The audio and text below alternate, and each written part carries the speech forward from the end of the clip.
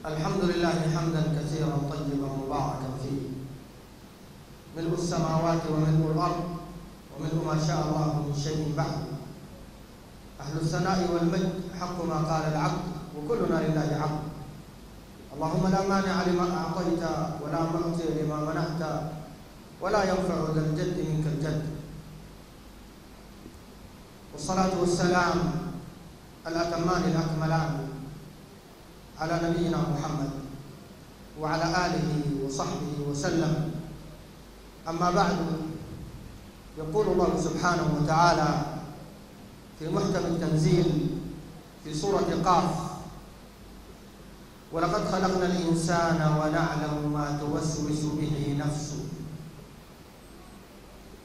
ونحن أقرب إليه من حبل الوريد. ذكر الله تبارك وتعالى الإنسان بخلقه وبين الله سبحانه وتعالى أنه يعلم ما يخفي الإنسان وما يعلن ونحن أقرب إليه من حبل الوريد ونحن هنا المقصود بها الملائكة. قال العلامة ابن كثير رحمه الله تعالى. ولم يقل الله تعالى وأنا أقرب إليه من حبل الوريد إنما قال ونحن أقرب إليه من حبل الوريد المقصود الملائكة. ومتى هذا الكلام؟ قال إذ يتلقى المتلقيان.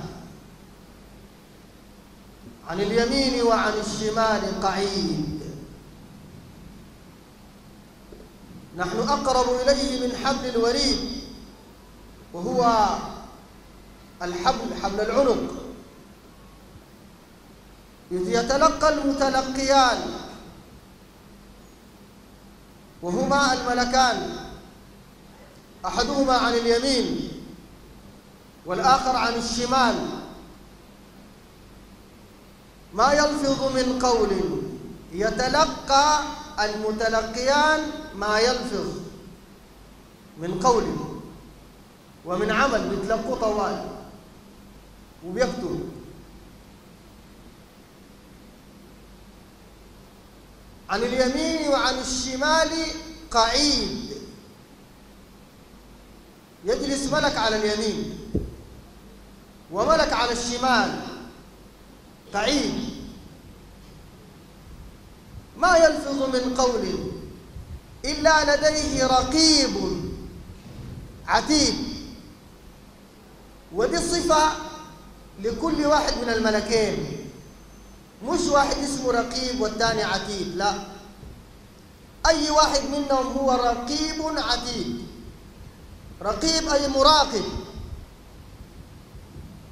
بتتبع عملك. وبيكتب كل شيء يصدر منك. رقيب وعتيد معناه معد لهذه المهمة دي وظيفته ما عنده غيرها ما بينشغل عنها. ما بيضيع عنه شيء من عملك. فهو معد لهذه المهمة. ما يلفظ من قول. إلا لديه رقيب عتيد. أي كلمة يقول الإنسان مكتوبة. حتى قيل للإمام أحمد رحمه الله وكان في مرض الموت. قيل له إن التابعي طاووس رحمه الله تعالى يقول في هذه الآية إن الملكين يسجلان على العبد حتى أنين المريض. لما يئن المريض مكتوب وكان الإمام أحمد يئن من المرض فسكت حتى مات. ما يلفظ من قوله إلا لديه رقيب عتيد. جاء في حديث بلال بن الحارث المزني رضي الله عنه أن النبي صلى الله عليه وسلم قال رب كلمة يقولها العبد ما يظن أنها تبلغ ما بلغت فيرفعه الله تعالى بها فيكتبه في رضوانه. كلمة واحدة من الخير. انت تقولها الله يرفعك بها. ويسجلك عنده. في رضوانه إلى يوم تلقاه أو إلى يوم تلقى ربك. قال ورب كلمة يقولها العبد. ما يظن أنها تبلغ به ما بلغت فيكتبها الله تعالى من سخطه. تكون من سخط الله. فيكتب العبد في سخط الله إلى يوم يلقاه. ما يلفظ من قول إلا لديه رقيب عتيد. وجاءت سكرة الموت بالحق. ذلك ما كنت منه تحيد نحن بنهرب من الموت ما كنت منه تحيد. تهرب بتفر.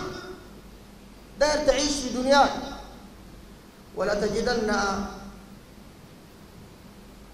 قال ولتجد ولتجدنهم أحرص الناس على حياة. الإنسان حريص على الحياة. وخاصة المشرك. حريص إنه يعيش قدر يموت لأنه عمله بعدين كعب.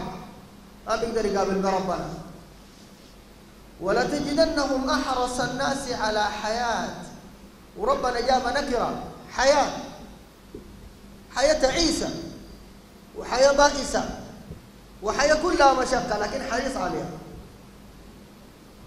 ومن الذين أشركوا يود أحدهم لو يعمر ألف سنة.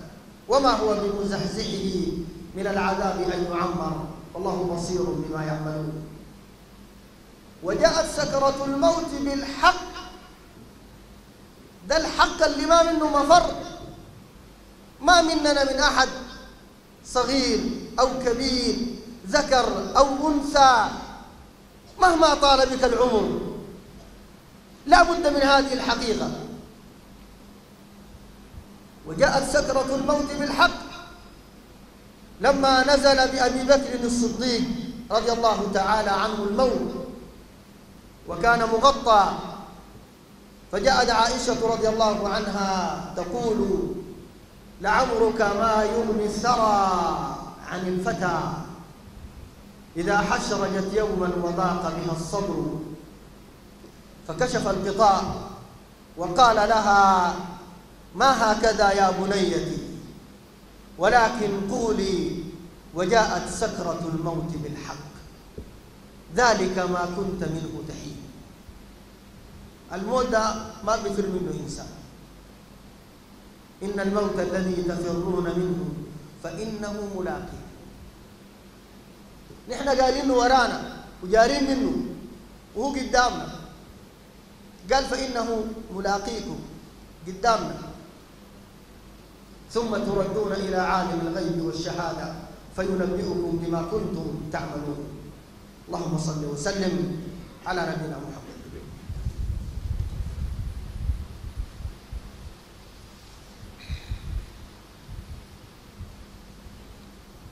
الحمد لله الصلاة والسلام على رسول الله وبعد قال ونفخ في الصور ذلك يوم الوعيد بعد ما مات العباد. وهلك الجميع. ونفخ في الصور فصعق من في السماوات ومن في الأرض إلا من شاء الله. ثم نفخ فيه أخرى فإذا هم قيام ينظرون. ونفخ في الصور. ذلك يوم الوعيد اليوم اللي ربنا توعد فيه الكفار. ذلك يوم الوعيد وجاءت كل نفس معها سائق ملك بسوقة. وشهيد ملك ثاني بيشهد عليها. معها سائق وشهيد لقد كنت في غفلة من هذا. انت غافل من ده كله. انت في غفلة. فكشفنا عنك غطاءك. الغطاء دي الغشاوة على البصر. والغلاف فوق القلب لأنه ما بشوف الحق. وجعلنا على قلوبهم أكنة أن يفقهوه وفي آذانهم وقرا. في ناس قلوبهم عميانة وأبصارهم عميانة عن الحق قلوبهم مقفلة. ما بتتكشف وتتفتح إلا يوم القيامة. للأسف بعدين. ويندم ولا فائدة من الندم. أفرأيت من اتخذ إلهه هواه وأضله الله على علم وختم على سمعه وجعل على بصره غشاوة. فمن يهديه من بعد الله؟ أفلا تذكرون؟ ربنا قال فكشفنا عنك غطاءك. الغشاوة اللي قاعدة في عينك اللي ما خلتك تشوف الحق. والغلاف اللي في جنبك اللي منعك من التوحيد. وخلاك تتبع الشرك. بيتكشف بعدين. فكشفنا عنك غطاءك. فبصرك اليوم حديد حاد. بيشوف أي حاجة لكن ما في فرق. قال وقال قرينه هذا ما لدي عتيد. ده الملك. قرينك اللي كان في الدنيا اللي بيكتب عليك. يقول هذا ما لدي عتيد. كله معد جاهز. أي حاجة عملتها مكتوبة. كله مكتوب مسجل. هذا ما لدي عتيد مكتوب. بعدها ربنا يقول للملك ألقيا في جهنم. يلا.